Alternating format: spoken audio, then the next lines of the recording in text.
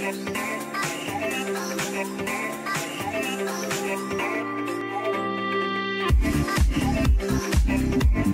galera, vídeo novo no canal, sejam muito bem-vindos a mais um vídeo.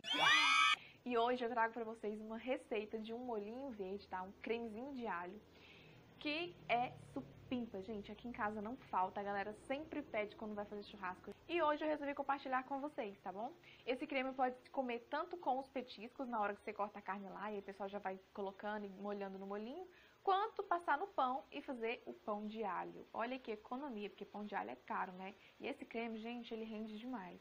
Então, se você já gostou da dica, deixa seu like aqui pra mim, combinado? Se inscreve no canal pra não perder nenhuma receitinha mais. E simbora pro vídeo. Beijo, partiu o vídeo.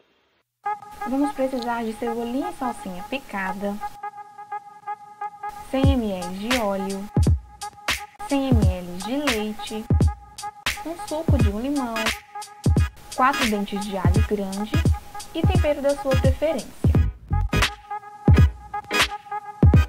Em um liquidificador, iremos misturar o leite, a cebolinha e a salsinha picada, os 4 dentes de alho e o tempero que você escolheu.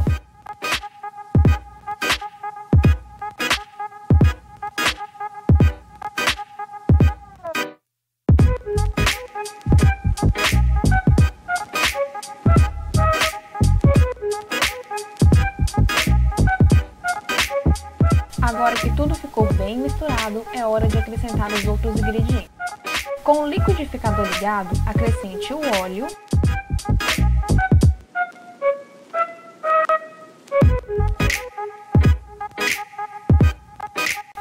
suco do limão.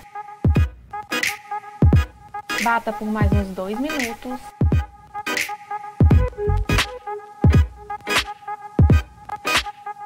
E o nosso creme tá pronto, galera. Agora é só servir e aproveitar.